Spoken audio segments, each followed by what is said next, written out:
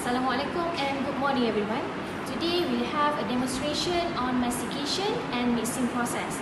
Before we start, uh, I will show you uh, processing equipment that will be used for mastication and mixing process which is two roll mill machine. Alright, so this is the uh, two roll mill machine. Okay. Uh, before you use the two roll mill machine, make sure you know the safety features when you use the Turomi.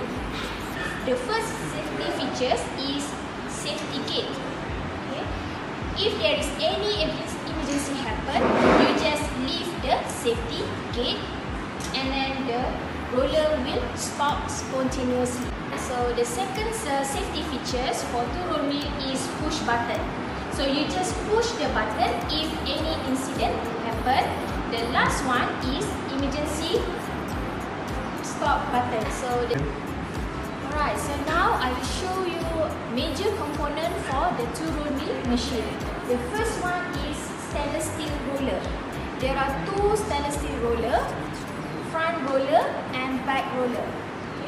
Both roller move towards each other where the back roller move faster compared to the front roller. This is because we want to get a shearing effect when you pass through the rubber through, uh, through the roller. The second component, major component of rolling machine is gap controller. So the gap controller uh, start with 0 until 5. So how to adjust the gap controller? You just uh, push uh, towards uh, either to right or to left the uh, uh, gap size.